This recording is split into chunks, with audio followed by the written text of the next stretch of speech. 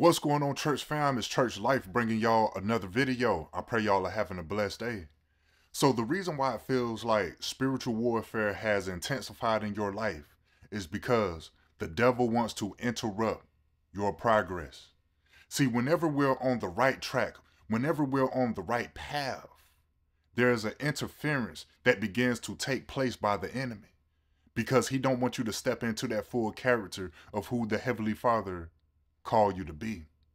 See, when you're getting close to the destination that the Heavenly Father is leading you to, it will begin the process of deliverance.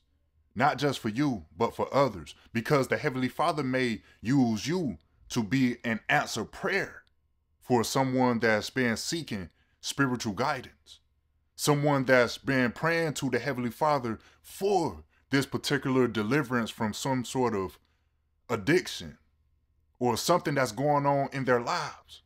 Because the testimony of others sometimes help someone overcome something they're struggling with because it allows them to understand they're not alone in whatever it is they're dealing with. So that's why the enemy will try to interfere with your progress because God may want to use you in a mighty way. So he will intensify that spiritual warfare in order for you to become discouraged, depending on how the Heavenly Father wants to use you. See, before Lord Jesus started his ministry, he fasted 40 days and 40 nights. And when he got to a particular point of his fast, the devil tried to interfere with his progress. He tried to interrupt his momentum. And the first temptation that the enemy tried to get him with was with food. The very thing that he was lacking at that moment because he was fasting 40 days and 40 nights. And the words say in Matthew 4, verse 3 through 4. And when the tempter came to him, he said, If thou be the Son of God, command that these stones be made bread. But he answered and said, It is written, Man shall not live by bread alone, but by every word that proceedeth out of the mouth of God. See, one of the things that I learned about the enemy, especially when you're about to enter into that place that the Heavenly Father has called you to, that place where the Heavenly Father is going to use you in a mighty way, the enemy will always use the very thing that you lack, something that you need at the moment that's going to help improve your quality of life. So that's why Lord Jesus teaches in the scripture it's important that we deny ourselves. Because when we do that, it makes it hard for the enemy to attack you with the stuff that you may need at the moment. So by us denying ourselves, we create this defense against whatever fiery dart that the enemy is trying to throw your way because we're leaving our lives in the hands of God. See, when you fully accept Lord Jesus, he becomes our defense system. He's the one who's going to give us the strength to navigate through these trials and tribulations that comes with the enemy whenever he's trying to interfere with your progress. See, Lord Jesus was hungry and in that scripture it's displaying what it looks like when we deny ourselves. See, he could have gave in to the flesh and said, you know what? I'm going to turn these stones into bread.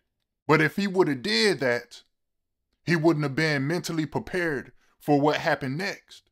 See, the enemy tried to make him cause harm to himself. He tried to make him trade in his salvation for stuff. He tried to make Lord Jesus sell his soul. What he say in that scripture? I think that was the last temptation too. What do you say? Let me get to it, y'all. In Matthew 4, I'm going to read verse 8 through 11. Again, the devil take him up into an exceeding high mountain and show him all the kingdoms of the world and the glory of them, and said unto him, All these things will I give thee if thou wilt fall down and worship me. Then said Jesus unto him, Get thee hence, Satan, for it is written, Thou shalt worship the Lord thy God, and him only shalt thou serve. Then the devil leave him, and behold, angels came and ministered unto him. See, when you resist the devil, he shall flee from you. And what I learned by that scripture is this when we live in a state of lack, right? When it feel like we don't have all that we need, that's how the enemy attacks you. He attacks you through the stuff of this world, the abundance of this world. And he wants you to trade your worship to God for the stuff of this world. And he will bait you into a system that will cause you to fall into this pit that becomes hard to escape out of. And that's why I say wide is the way that leads to destruction, but narrow is the way that leads to life. But what I also learned by reading that scripture is this Lord Jesus fasted 40 days and 40 nights. And when the tempter came to tempt him, he resisted the enemy. And by the time he got to the last temptation and overcame the enemy with the word of God, angels came down to minister to Lord Jesus. So, what that taught me is this he also received revelation on what he needed to be doing and how it will work if he continued to trust God. See, basically, this is what I'm saying. The enemy doesn't interfere with something that he doesn't know is going to work later on. So that's why the enemy continues to attack you. He's going to try to attack you with these temptations. If you're fasting, he's going to attack you with food first. If you're on the verge of becoming who the Heavenly Father created you to be, He's going to attack your character. If you're living in some sort of lack right now and it's becoming hard to put food on the table or pay bills or keep the essentials in your life that we all need to survive, He's going to try to attack you with the abundance of the world. He's going to attack your mind, your character, and he's going to try to interfere with the path that the Heavenly Father has you on. And when he see that all of this is failing, when it doesn't work, because the Bible says, no weapon that's formed against you shall prosper, he's going to try to enter into the people that you care about, people that he still can use. And this spiritual warfare may even come from people that you don't even know. But this happens whenever you're on the right path. When God is ready to do something miraculous in your life and use you in a mighty way, the devil will always try to interrupt that progress. Because he don't want you to continue this process of becoming who God said you was from the very beginning. So to make a long story short, none of these attacks that comes from the enemy are random. See, God may have chosen you to be the one that breaks generational curses that's in your family. And the more we keep going and trust in the Heavenly Father, the more we develop a testimony. See, people may need to hear about the stuff that the Heavenly Father has delivered you out of. And you might be going through something right now that you think you can't overcome. See, the reason why you think you can't overcome it because of those intrusive thoughts.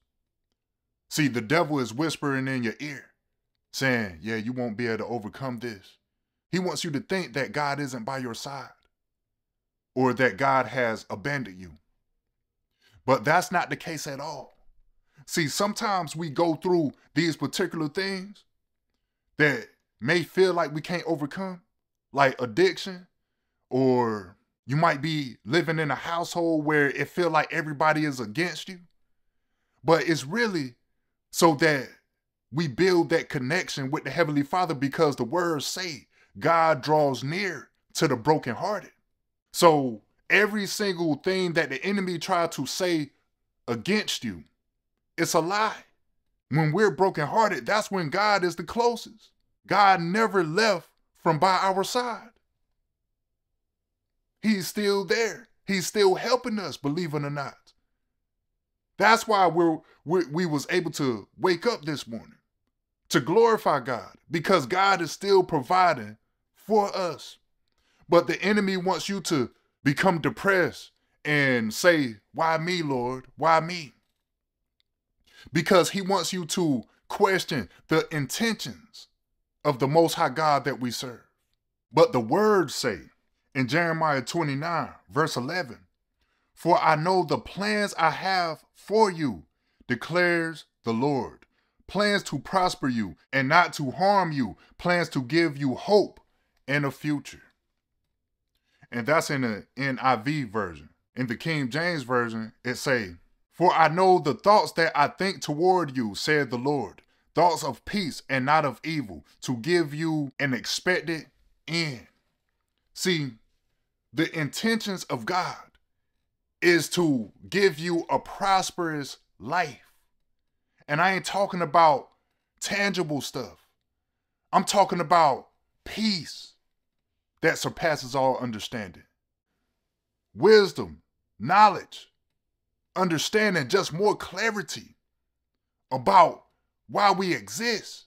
And that's to serve and glorify the name of God. Like I said, whenever you're on that path, that track that leads you toward life, that narrow way that leads you toward life, the enemy will always try to interrupt that progress. His whole plan, his whole objective is to interfere with that connection that we're building with the Heavenly Father through Lord Jesus. So that's why that spiritual warfare is increasing in your life. And the enemy will try to affect anyone that's around you that he can use in order to try to make your life miserable. And this also happens when God is about to turn your circumstances around.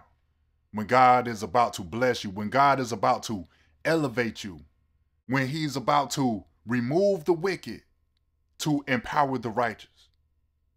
See, God considers your faithfulness to be righteous as well. When you didn't turn away from God just because this circumstance was happening, or just because these people turned on you, you still continue to believe God that He will make a way. See, that's what moves the hand of God. So as I bring this to a close, I want to read one more scripture. Psalms 55, verse 22. Cast our burden upon the Lord, and he shall sustain thee. He shall never suffer the righteous to be moved.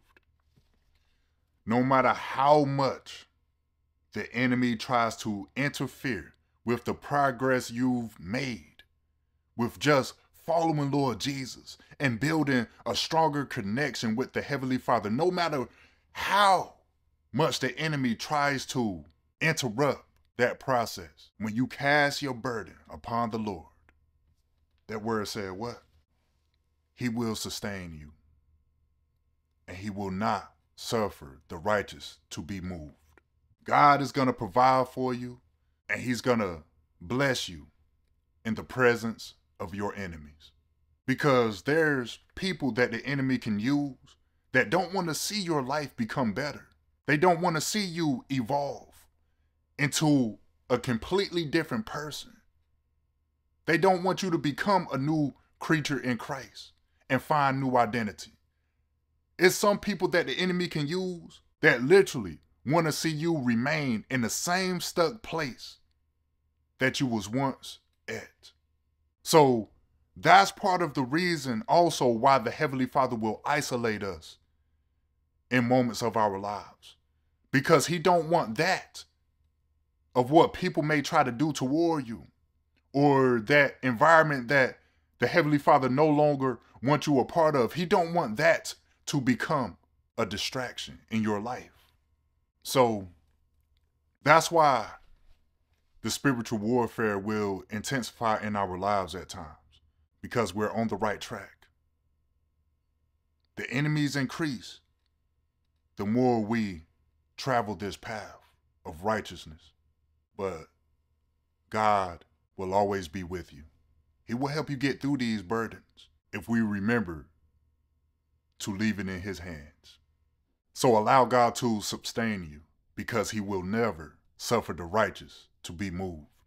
I pray this word bless you. In Jesus' name, amen. I love y'all.